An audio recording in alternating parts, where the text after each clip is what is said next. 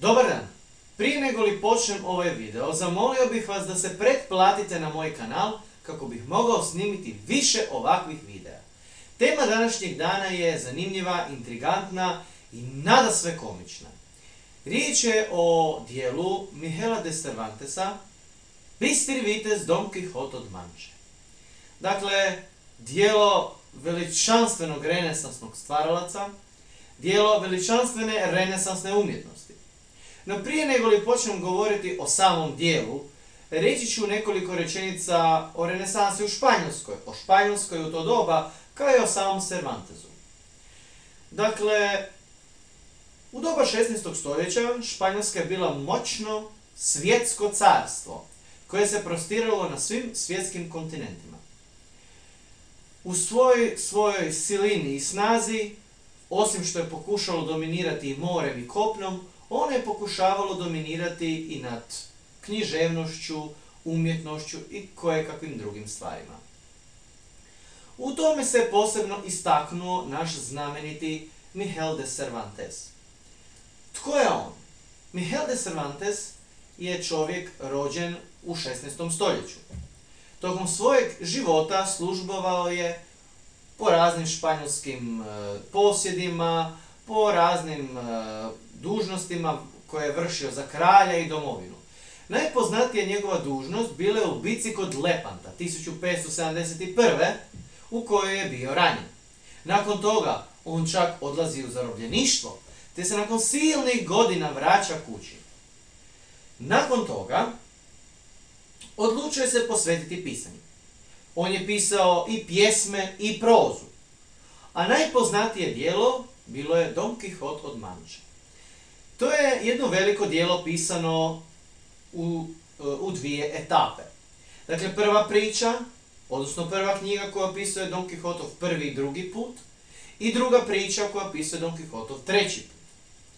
To je komedija, parodija na viteške romane i dokaz, e, dakle, renesansne moći stvaranja, posebno se to vidi u liku Sanča Panče, koji je teški hedonist, e, makar to ni sam ne želi priznati. Dijelo Don Quixote, koje ću obraditi u ovom videu, bit će dijelo prve etape i bit će prvih 16 poglavlja. Prva knjiga sastoji se naime od 41 poglavlja. Prvih 16 opisuje prvi put Don Quixota. Drugih od 16. do 41. opisuje drugi put Don Quixota. Ono što još valja reći je da je dijelo prilično, prilično komično. Stoga vam zaista savjetujem da ga pročitate, vjerujte mi, to vam je lud zbunjen normalan početka 17. stoljeća. E, ono što vam još valja reći su likovi. Dvojica najglavnijih likova su Don Quixote i Sancho Pancha. Ko su oni? Don Quixote je vitez, lutalica, zaljubljenik u viteške romane i parodija na srednjovjekovnu umjetnost. A Sancho Pancha je, za razliku od Don Quixotove ludosti, on je opet na neki svoj način lud. Jer nije mu, nisu mu sve koze na broju, ali, za razliku od Don Quixota, on je pravi hedonist. On je pravi uživatelj u hrani, vinu i piću, što se ne bi recimo vidjelo u srednjovjekovnim dijelima. Da ne duljim, počet ću odmah sa radnjom. Dakle, obradit ću prvih 16 poglavlja u ovom videu. Dakle, kreće prvo poglavlje. U prvom poglavlju opisuje se fizički izgled Don Quixota i njegov krajolik. Dakle, Don Quixote je čovjek od svojih 50 godina, te uz to onako malo uronuo, nije baš u naponu snage, krajolik kojem on vlada zove se Manča, pa će se kasnije on sam nazvati Don Quixote od Manče. Ono što još valja reći uh, o njegovu krajoliku, da je to relativno onako, nije ni siromašan ni bogat krajolik ima pet magaraca u svom posjedu, ima tu neku svoju kao veliku kuću, dvorac uvjetno rečeno i živi nekakvim srednjim životom. U drugom poglavlju imamo duhovni opis Don Quixota, što on radi u svoje slobodno vrijeme, kako ga koristi i na što troši svoj novac, jer je on ipak plemić srednjeg staleža. Naime, Don Quixote čita viteške romane. Po tim ne mislim da on čita jednu knjigu mjesečno. Ne, on čita jednu knjigu dnevno. On ima jednu golemu knjižnicu koju je napunio e, srednjovjekovnim viteškim romanima. Naime, on je, kako u knjizi piše, prodao brojna, brojna e, dakle, imanja, e, novac, on je prodao, Boga pite što nekako bi mogao kupovati knjige. U samoj knjizi Don Quixote se navodi kako je on doslovce gutao knjige, on je čitao knjigu za knjigom. On danima nije spavao, ni noćima nije spavao, nije jeo, nije pio, nije išao obavlja nuždu. Samo je čitao. I to je lijepo da čovjek se bavi čitanjem, ali znate onu izreku nekad kad previše čitaš poludiš, pa to se dogodilo njemu. Naime, Don Quixote je čitao čitao i čitao i utuvio se u glavu da on živi u svojim knjigama. Znači njegove knjige, njemu su postale sve. I ne samo su bile sve, one su bili njegov život. I onda je on, umjesto da knjige pusti u svoj život, svoj život pustio u knjige. Znači da su sada te knjige u stvari njemu postale stvarnost, da je sva ta mašta u stvari stvarnost i odlučuje postati vitez lutalica.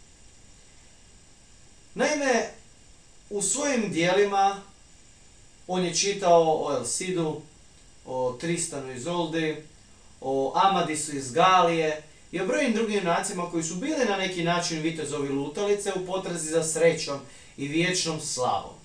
Odlučio je učiniti to isto. Naime, nakon te odluke, on je odlučio e, krenuti u svijet vidjeti što se dešava, krenuti u potragu za novim pustolovinama. Tu dolazimo do, do poglavlja trećega. U trećem poglavlju e, imamo opis, e, dakle, Don Quixotove opreme, opis njegove, e, dakle, njegovog konja Rosinante i imamo opis kako je on otišao od kutje. Dakle, Don Quixote ima oklop. On ima i oružje i štit. Naime, taj oklop je zahrđao. Taj oklop pripada njegovom šukun djedu koji je ratovao Boga pite gdje, za Boga pite koga. Ima, dakle, štit koji je onako malo razbijen, ali još cijel. I ima šljem. Taj šljem je prepolovljen, ali ga je on nekako uspio uh, ono, spojiti nekako. Onda imamo opis Rosinante. Rosinante je za njega bukefal, doslovce. Znači, Rosinante je jedno kljuse, jedno staro, istrošeno, veliko kljuse, jedan stari konj. Ali za Don Quixota, on je, ne znam, jedno, on je za njega Pegas, doslovce.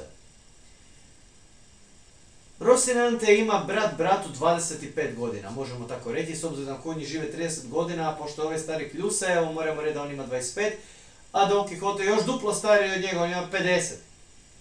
I onda on si umislio da ima bukefala, da ima opremu jaču od Cezara i odlučio on krenuti u bijeli svijet. I tako, prije nego li je izašao iz kuće, imamo četvrto poglavlje. Što se dešava? Ne možeš čovječe ići u svijet, kaže on sebi, a da nemaš nekoga za kim ćeš žaliti. Sad, naravno, mi si možemo postaviti pitanje, pa kog vraga ćeš sad žaliti? Ali, on je u viteškim romanima pročitao da svaki vitez lutalica ima svoju ljubav koja mu je nedostižna. Tu vidimo naravno i renesansu zbog nedostižne ljubavi, samo ovdje nema neke vrbe ili nešto da to dokazuje na nesretan način. Ali, on želi imati ljubav svog života. I misli Don Quixote, misli koga bi on mogao uzeti.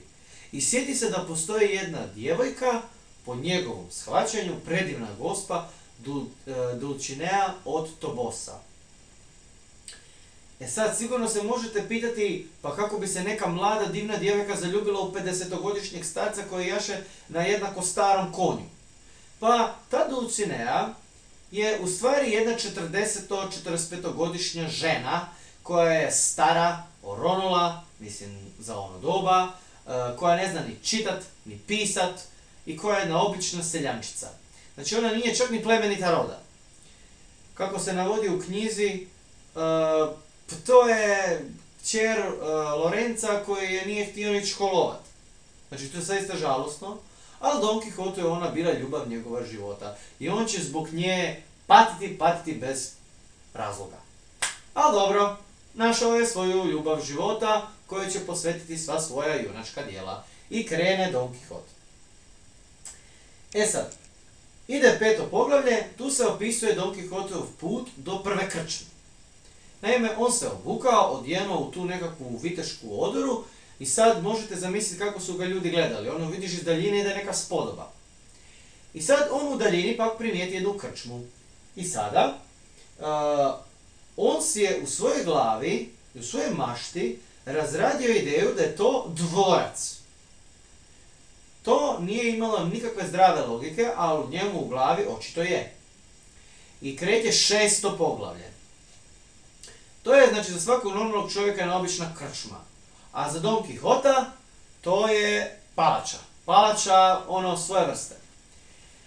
E sad, on je došao pred ulaz i na ulazu stajale dvije gospođe, onako fino odjevene, nabijen dekolte i naravno čekale su mušterije. Riječ je o prostitutkama. A on dođe pred njih, uljudan i dobar kakav je bio, pozdravi ih i kaže poštovanje plemenite nevine dame, ja vam stojim na usluzi kao svaki dobar vitez i pošten građanin. Naravno, ove su, prvo i osnovno nisu razumjeli što on govori, jer govori uzvišenim tonom, ove su neuke. Drugo, prasle su u smijeh, pogotovo kod one riječi nevine. U sebi su vjerojatno mislile, e, stari moj, ja sam nevina jedino u koljenu, ako sam li to. I naravno, ove su se grohotom smijale, i Don Quixote se počne malo ljutiti on se prema njima lijepo obhodi, a one se samo nešto skrevelje. Nije mu baš jasno. E onda, uh, on kad dođe pred ta vrata, on ta vrata od krčme ne vidi onako kako ona jesu, znači neka obična, nego neka velebna vrata, ovo ono. I u to dolazi gostioničar. E sad, on je jednog krčmara zamislio kao vladara velikog zamka. I onda ide poglavlje sedmo. Dakle, kao što sam rekao, Don Quixote je pred vratima, cure mu se smiju, stiže gostioničar. Gostioničar onako zanimljivo izgleda, pivska trbušina, e, krpa preko ramena, čisti čašu i gleda koji vrak se dešava. I on pita, dobar dan, što trebate? Ovaj mu kaže, plemeniti gospodaru velikog zamka. Čast mi je ako biste me ugostili u ovom zamku. I ovaj gleda, a nije mu jasno. Prvo, kog vraga ova spodoba radi tu, drugo, kog vraga on govori i treće, ima li taj novaca da plati? I ovaj nije izmao izbora i ono, odluči, pa dobro, ajde, uđi ti u kuću, pa ajde. I onda lijepo, oni sjednu svi za stol, počne ručak, i Don Quixote pripovjeda o junačkim dijelima Amadisa od Galije, Elcida koji je poginuo ovdje i ondje, pa razmišlja o tome kako će on jednog dana činiti velebna djela. I čini to i govori to uz prilično lijep riječnik. Naravno, u priprostom svijetu niko živ ne razumije, pa je izbila teška komedija. Oni su sve ono što je on govorio protumačili kao jednu tešku zezanciju, jednu tešku komediju i smijali se čovjeku u facu. A on kakav je bio, E, nije razumio, nije razumio. Znači, teška komedija. E sad, završava nam sedmo poglavlje i ide osmo. E, tu se Don Quixote sjetio, pa ovo je zamak, a ovo je gospodar zamka, možda bi me on mogao vitežiti. I onda on krenuo s njim u tu malu priču.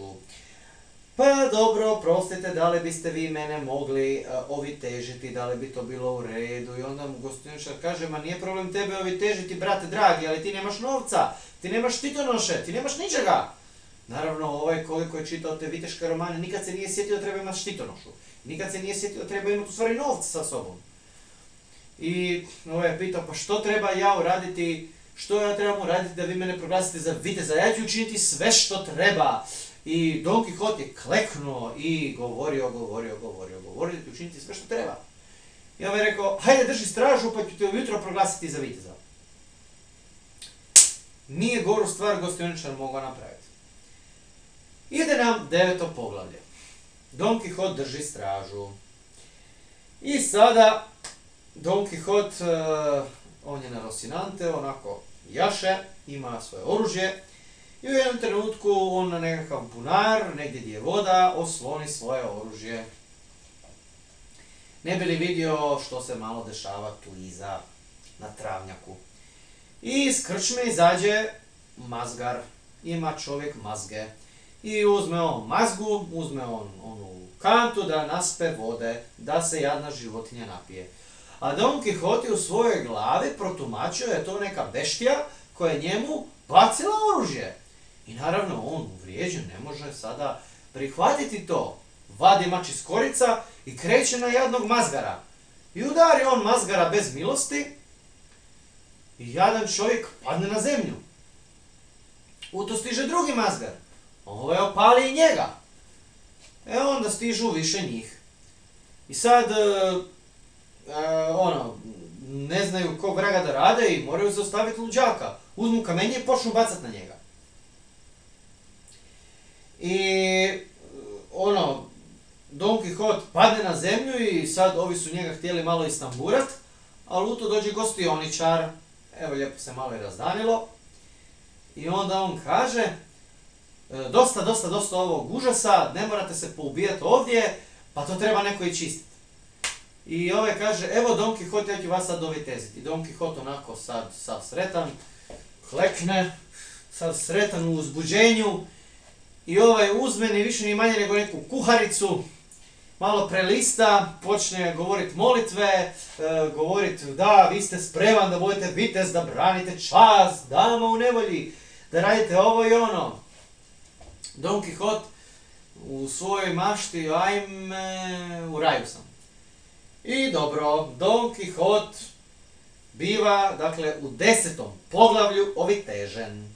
Nakon što su se ovi poubijali, fino, i Don Quixote primio viteški zavjet na sebe, u tom desetom poglavlju, kreće na put. 11. poglavlje. Evo nas u jednom šumarku, polju, kako god. Nalazimo se negdje na prirodi.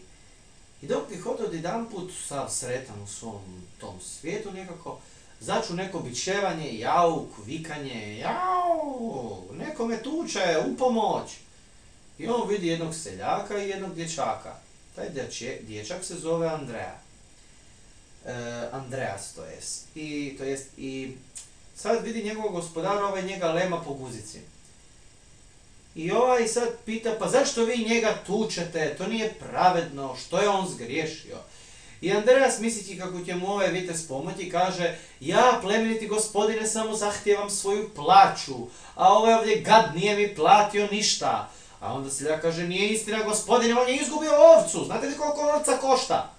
I onda ovaj vitez kaže, e, Evo, ja ne znam koliko ovca košta, ali znam kad se nanosi nepravda nemoćnome. On nije naoružan, ne smijete ga tako tući. Ja zahtijevam da mu sve isplatite. I naravno, ovaj uh, seljak kaže, da, da, da, sve će njemu isplatiti. I ode Don Quixote i sad ovaj uhvati tog Andreasa i kaže njemu, e mali, što si jamio, jamio si, sad ćeš da vidiš. Uzme on lijepo bić, premlati i namlati njemu kosti, rebra, fino mu ga sastavi i onda ga šutne nogom i kaže pa evo sad uh, vidio si kako izgleda uh, jeli dobit batine, a sad mrštom tvom vitezu, pa nek ti on nadoknadi plaću. I ovaj kaže u suzama, da znate i da hoću. I ode on. E sad, nisu pustolovine Don Quixota samo tako već završile. Ide 12. poglavlje. Sad Don Quixote ide prema svom mjestu gdje on živi. I sad na putu nađe trgovce, mazgare. E, I sad trgovci i mazgari su išli zajedno i onda on stane malo popričaju i sad on kaže njima da, znači da je on utajući vitezovi, ne znajući da je on šenut, tako malo počnu pričati i onda on njima kaže da on bdije i živi za svoju gospu Dulcinevu. Dulcinevu.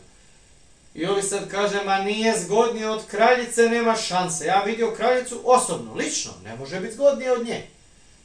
I Čaja ovaj reka, pa ne bih se složio s vama, kaže Don Quixote. Pa nije ona toliko zgodna, moja gospa je zgodnija. I ovaj kaže, ma nije. I ovaj kaže sad, pa jel vi to vrijeđate ljepotu moje gospe, pripremite se da umrete. I Don Quixote krene u galop, on će sad njima svima ocili glavu, ali gdje je problem?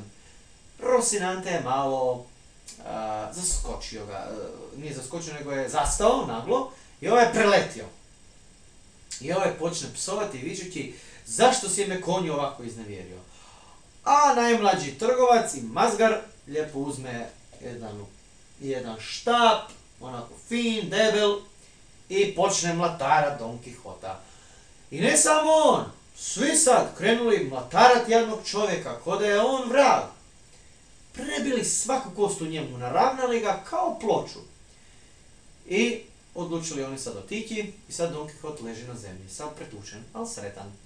Obranio sam čast svoje gospe misli u glavi, a zaboravlja da je prolio dvi litre vlastne krvi, zato jer, jer se odlučio posvađati zbog nekakve 45-godišnje žene, koja ne može biti bolja od 20-godišnje žene, koja je kraljica. I dobro, završava 12. poglavlje, ide 13. E sad, on tamo leži i stiže jedan seljak. E sad, taj seljak vodi ovce, koze i vidi čovjek tamo zapomaže. Ajme meni, majko Bože, moramo ih pomoći. Ide on pomoć njemu i vidi, hajme, gospodaru Don Quixote, pa to ste vi. Mislim, susjedi su, ne?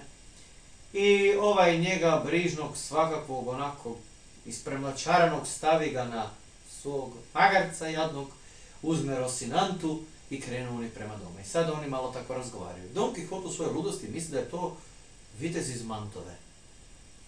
Eto na, seljak, jedan nikakav siromašan, odjedan postade vitez i moćnik iz Mantove.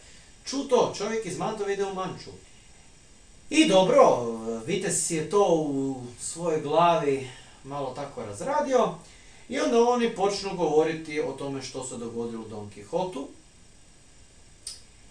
I sada Don Quixote, znate, malo vrijeđa tog seljaka. E, govori o svojoj gospi da je najljepša i ovaj, naravno, ba nije ovaj da je. I sad, kako nije želio razljutiti ovog jadnog starca, odluči seljak popustiti i onda oni stignu u manšu. I kreće 14. poglavlje. Naime, uh, Don Quixote stiže u svoju kuću, a u kući žive gazdarica i njegova nečakinja, koja je njegova sinovnica, odnosno nasljednica.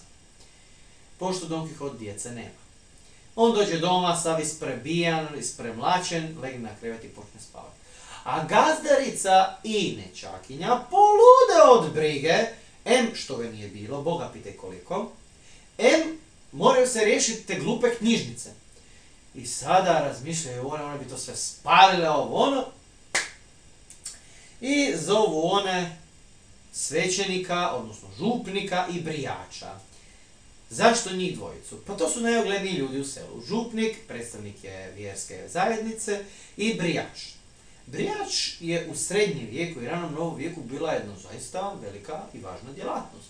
Naime, brijači su vam bili e, putujući doktori i brijači uz to brijali su brade. I sada oni dvojica dođu, pošto su oni bili najpametniji u selu, i gazdarica je zamolila, molim vas, pomozite, učinite nešto, ove knjige su opsjednute vragom, one su začarale Don Quixota, on sad ne zna gdje ni što je. I župnik kaže, dobro, pa nećemo ih sve spaliti, neke ćemo sačuvati. I završi 14. poglavlje, ide 15. I dođu oni u dakle, tu knjižnicu, to je velebna knjižnica i sada župnik, prije nego li uđe, dođe žena sa svetom vodom i govori, na, župniće, prskajte to, to je vražje. I on kaže, pa dobro, draga gospođo, smirite se jedno malo, pa neće niko umrijeti ako mi sad malo odemo unutra provjeriti što ima, jel da? I ova kaže, pa dobro. I onda oni odlučuju malo pregledati knjige, nećemo sad sve baciti, bilo bi šteta. Vidi Amadis od Galije, dobro, vidi El Cid, dobro. I sad vidi neko treće dijelo, hm, zanimljivo, ali moglo bi čovjeka začarati. I tako oni bacaju, bacaju, bacaju knjige na kup i uzmu šibice i počne sve gorit. Šteta knjiga, šteta, ali neke su sačuvane. E sad, da oni ne bi slučajno dali Don Quixotu još razloga za razmišljanje, odnosno kad vidi knjižnicu da mu je prazna, vjerojatno bi poludio, oni su majstorski odlučili sve zazidat. I reći da je nekakav zli čarobnjak došao i uzeo knjižnicu. E, završi to 15. poglavlje, stiže 16. E, pak. E, Don Quixote se sad probudi i prvo što ide radit jest pogledat kako mu je u knjižnici. I onako malo pipkat po zidu, gleda, gdje je ta knjižnica? I zaista nema knjižnice. Brzo on poludi, pita, e, gazdarice, gazdarice, sinovnice, bože, župniče, pa gdje, gdje su mi knjige? I onda se oni polako smireno dođu k njemu i kažu, pa, dragi moj Don Quixote, došao je nekakav čarobnjak, Boga pitaju gdje, i onda je on bacio zle čini i uzeo vam knjižnicu da više nikad ne čitate viteške romane. A onda je Don Quixote njima svima zeznuo ih i rekao, taj zlikovac će mi platiti, osvetit ću se, ali nije mi mogao načiniti ništa. I sad ovi ga naravno šuno gledaju, pa ima sve knjige u svojoj glavi. I onda ovi, a, da, ima pravo. Ali dobro, spali smo knjige, kažu. I Don Quixote odluči, potajno će on krenuti ponovno u avanturu. I tako završava 16. poglavlje i prvi put našeg dragog Don Quixota. U idućem videu obradit ćemo drugi put Don Quixota, gdje on kreće sa svojim novim pomoćnikom Sancho Pančom u velike i interesantne pustolovine koje će ga odvesti u brda, u šume, na rijeke, na padine, gdje god. Ali o tome više u idućem videu. Hvala lijepo i lijepi pozdrav!